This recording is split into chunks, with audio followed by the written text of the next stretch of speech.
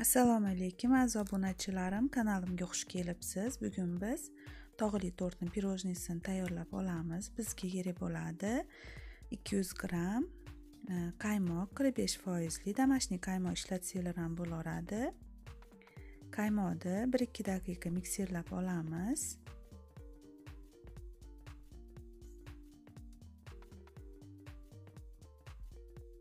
Endi Э, 200 gramm malakoda 2-3 ga bo'lib solamiz birdaniga quymaymiz. Э, va mikserlashda davom etamiz. Qaymoqli krem eng nozik kremlardan bo'ladi. Tayyorlayotganinglarda э, suv ichib ketsa hamma suvini chiqarib qolgan qaymoqni mikserlab o'zini chiqqan suvni qaytadan o'ziga quysanglar kreminglar sливочный kremga o'xshab tayyor bo'ladi to'rlanadi. Isrof qilib tashlab yubormanglar kremim o'xshamadi deb e, savollar bo'lsa e, yozib qoldirsanglar bemalol javob qaytarishim mumkin. Endi qolgan molokoni quyib mikserladim va tabga ko'ra vanilin solamiz. Kremimiz tayyor bo'ldi. Menga o'ta qattiq krem kerak emas. Shu holatda bo'ladi krem. Endi buni muzlatgichga solamiz. Biskvit tayyorlashni boshlaymiz.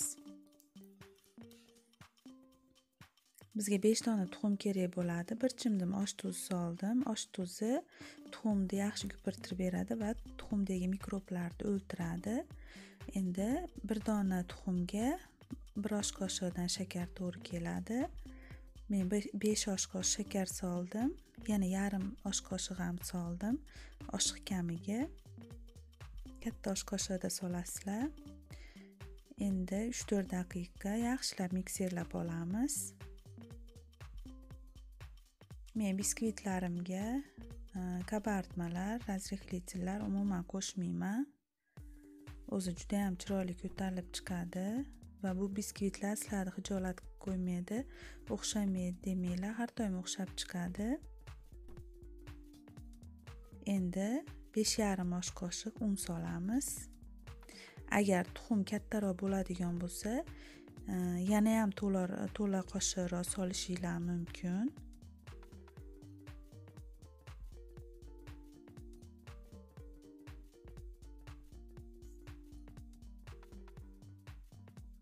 Mana aralashtirib oldik. Oldindan duxovkani qizdirib qo'ydim. Bir yuz sakson gradusga.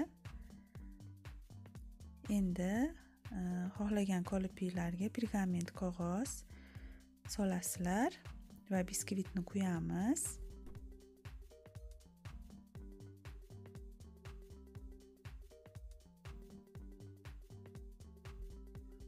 va bir yuz sakson gradusda o'ttiz daqiqa pishirib olamiz.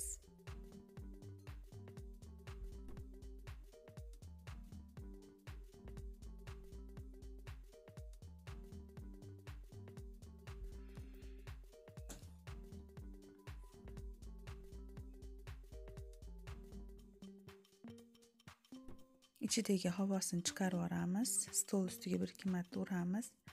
Biskvitimiz pishib chiqdi.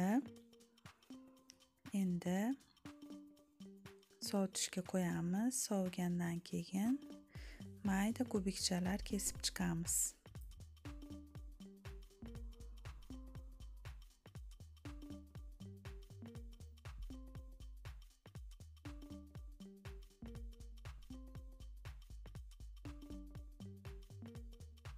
Mana shu shaklda.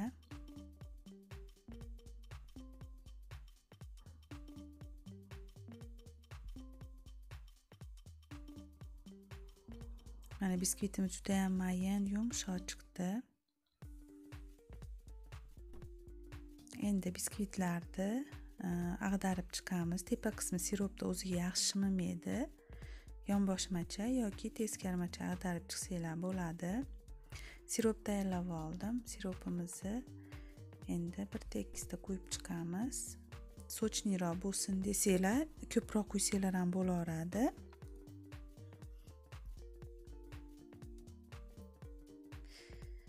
Mana endi idishimizga solib oldim biskvitni. Kremni ikki qismga bo'lib solamiz. Birinchi qismini solib aralashtirib olasizlar. Aralashtirganinglarda biskvit o'ziga shimib oladi kremni. Birdaniga hammasini solsanglar to'ppa bo'lib qoladi.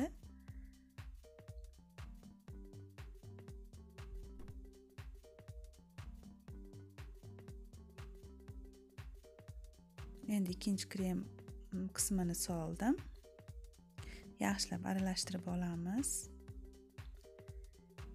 Endi xohlagan idishinglarga tarelkalarga mm, tayyorlasanglar bo'laveradi. Men shu idishdan foydalandim. Bir dona bananni mayda pare shaklda to'rg'ab banandan uch to'rt bo'lakdan idishimizga solib chiqamiz. Solib oldik. Endi pirojniydan solib chiqamiz bosib solinmaydi. Shu holatda solinadi.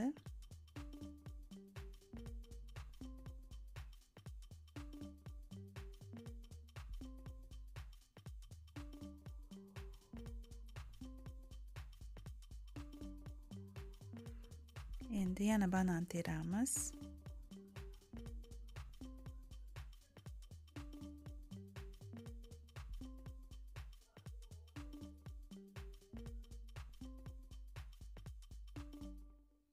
Orasiga kivilar ham tersanglar bo'laveradi o'zinglar tabiiylar qarab tayyorlayverasizlar mana banan terib oldik. Endi yana pirojniy solamiz.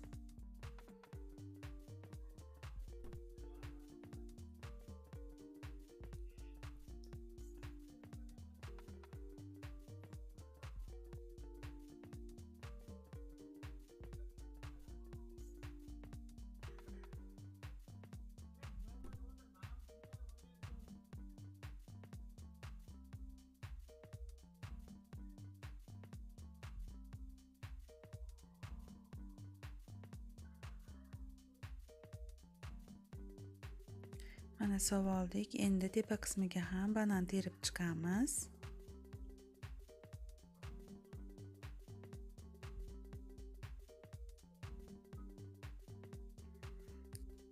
Endi 2 osh qoshiq cho'ka kremga 2 osh qoshiq o'simlik yog' quyib mikrovolnovkada eritib oldim.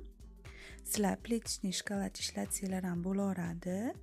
Xolasinglar eritib ishlatinglar ustiga quyinglar xolasinglar qirg'ichdan chiqarib sepsanglar ham bo'laveradi.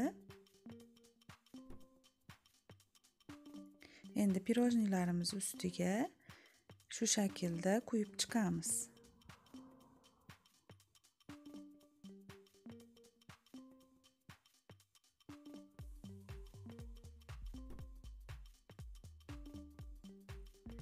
Judayam mazali chiqadi. Sizlar ham albatta tayyorlab ko'ringlar.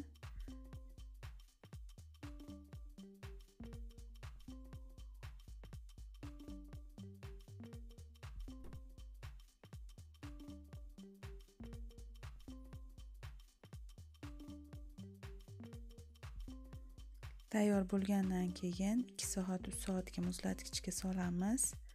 Mazalari orasiga o'tish uchun. Undan so'ng dasturxonga tortishinglar mumkin.